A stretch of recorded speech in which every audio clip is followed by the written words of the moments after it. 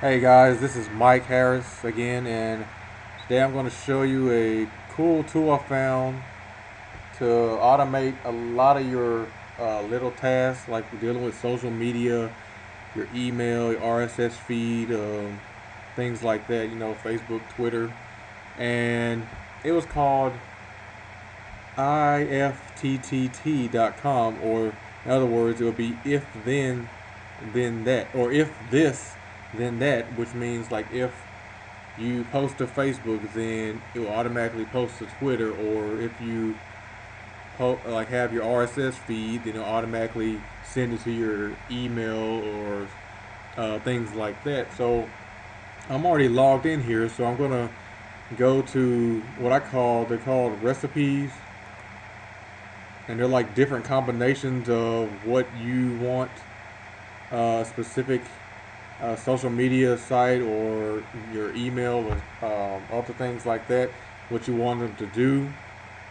Like right here, I have currently have 11 personal recipes and they're all turned on. And I scroll down here, you see one that says if YouTube then uh, Bitly, and it's like add a public bitmark. And if you most of you know what Bitly is, I'm not gonna go into uh, a lot of detail, but it's like a link shortening website that you can use to shorten a lot of your links. And okay, let me go to the next one.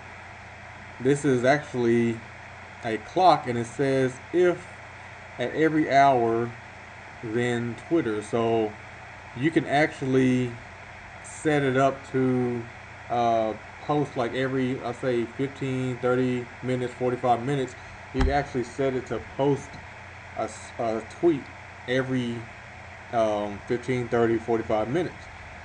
So you can actually set up multiple ones like this. I mean, there's other tools out there, but this is a good tool as well. So you go to the next one is if Facebook, then I call it Diigo. And if RSS feed, you'll send my RSS feed to to Diigo, whichever RSS feed you decide to highlight and put put in there, it will send that to Diigo. So it could be from your uh, your blog, um, your YouTube channel, you know, stuff like that. And then I have some other combinations, like if YouTube then sends it to Tumblr. If I do a Facebook link, uh, new link post, it'll send it to Tumblr and stuff like that. So let me go ahead and get started in showing you how to create an actual recipe. So what you do is you just go to create a recipe.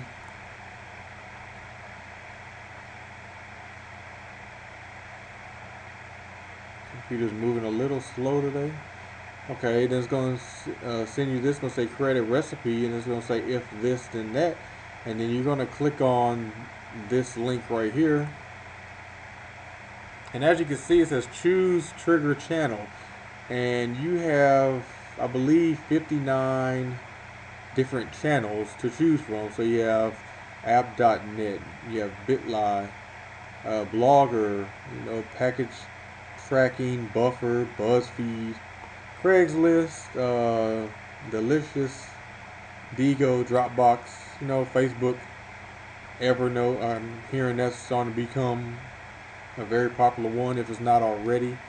Uh, Etsy, you got your feed, Flickr, Foursquare, Gmail. I mean, you just have multiple ones. Instagram, uh, Tumblr, YouTube, uh, phone call. I haven't used that one yet. Uh, Vimeo is like kind of like YouTube. You know, you can post your video. So every time you have a uh, post a video to Vimeo, you can actually send it to Facebook or something like that. So I'll just do a simple one. So I'll do like, okay, Facebook.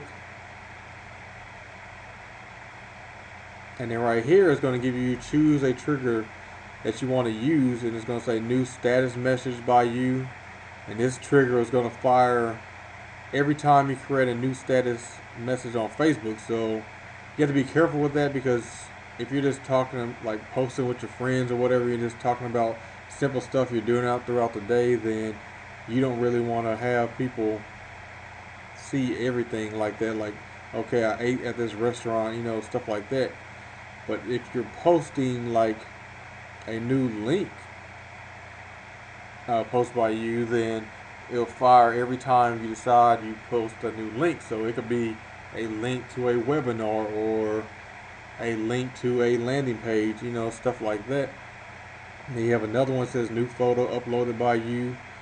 Um, every time you upload a new photo, and Facebook is going to whatever you choose the other landing spot to be. That's where it's going to send that link as well, or it's going to send that new photo. Uh, your profile changes, and then you have uh, when you're tagged in a photo. So I'm going to go ahead and pick new link posted by you. Okay, and then it's going to say no fields to complete. It's going to say create trigger. So you click create trigger, and it says if Facebook new. If you post a new link on Facebook, then you click this link that, and then once again you're met with all these um, different um, social media sites, uh, email, stuff like that. And you actually have one where you can use Hootsuite if you have an account with them. You have Google Talk. You have so many different uh, options to use. So I'll just pick a simple one like uh, everybody knows Twitter, what Twitter is. So I had if Facebook, if I post a new link on Facebook, then you have the option of posting a tweet, posting a tweet with an image, or you can add user to list, or you can up uh, update your bio, you know, stuff like that, or update profile picture. I would like to pick post a tweet because it makes the most sense in this scenario. So, okay, and then right here it says complete action field. Most of the time it should be already set up for you. It says post a tweet, and then it says what's happening, and then you'll have your message, whatever you posted on Facebook, and then it'll be followed by whatever link you posted. and if you're keep that in mind that uh, Twitter only takes like 140 characters, so make sure if you're posting to Facebook, make sure that your status, your post is not more than 140 uh, characters. So you can add, actually add more right here. It'll say you can put created by or link URL if you want or link title, you know, message description. I mean, excuse me, link description or created date, which you really don't have to add if you don't want to because these are already set for you. Excuse me. And then you hit create action. And soon as if uh, new link post by on Facebook, then it's going to post a tweet to your account. And if you don't have an account set up with Twitter or whatever, which one you decide to choose, it's going to prompt you to uh, make sure that you um, set up that account.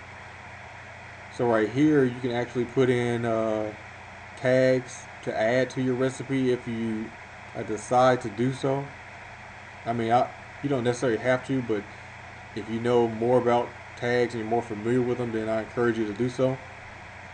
And then after that, you hit create recipe.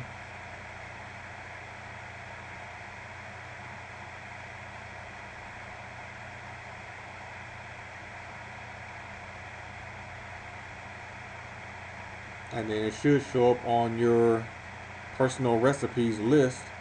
And then you have if Facebook then Twitter and they have other ones you can actually go to which is pretty cool because they have it's like a community of people who've created their own uh, personal recipes and you may actually get better ideas from a lot of these guys.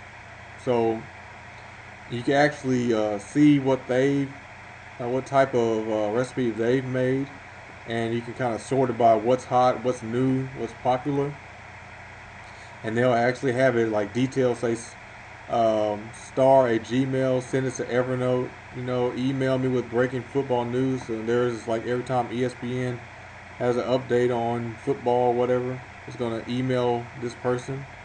Um, you have one that says save all my recipes on Google Drive. There's email me 10 things to know this morning. Like, it's a bunch of different combinations of uh, recipes that you can use for your own personal use. And you can, uh, it's pretty cool because you can actually, you can automate a lot of tasks that you don't want to do. And the biggest thing is that while you're automating it, you get more exposure because it's starting to post a lot of your content around the net. So if you have a blog and you have an RSS feed, you can actually send that to Facebook and then you can create another one from Facebook to like send it to like post a tweet and so on and so forth. Like if you make a YouTube video, then you can post it to Facebook and then from there you can post it to Twitter and then from there you can um, post it to other uh, social media websites. So I hope you've uh, got a pretty good understanding from this today and um, I will see you guys later.